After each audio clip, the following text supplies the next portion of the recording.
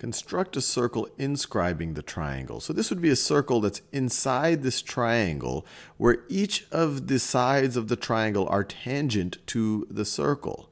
And one way to, or the one, the probably the easiest way to think about it is the center of that circle is going to be at the incenter of the triangle. Now, what is the incenter of the triangle? The incenter of the triangle is the intersection of the angle bisectors. So if I were to make a line that perfectly splits an angle in two, so I'm eyeballing it right over here, this would be an angle bisector. But to be a little bit more precise about angle bisectors, I could actually use a compass. So let me make this a little bit smaller.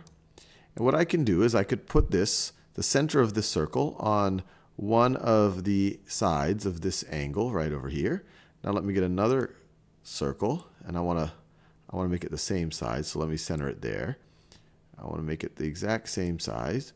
And now let me put it on the other one, on the other side of this angle. I'll put it right over here. And I want to put it so that the center of the circle is on the other side of the angle.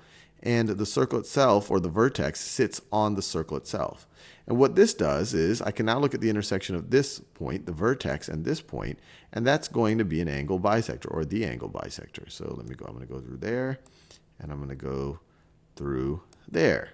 Now let me move these circles over to, to here so I can take the angle bisector of this side as well. So I could put this one over here, and I could put this one.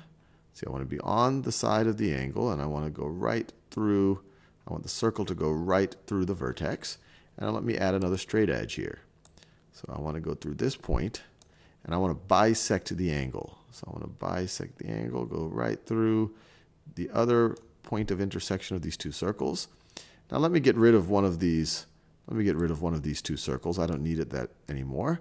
And let me use this one to actually construct the circle inscribing the triangle. So I'm going to put it at the center right over there. And actually, this one's already pretty close in terms of dimensions. And with this tool, you don't have to be 100% precise. It has some margin for error. It has some margin for error.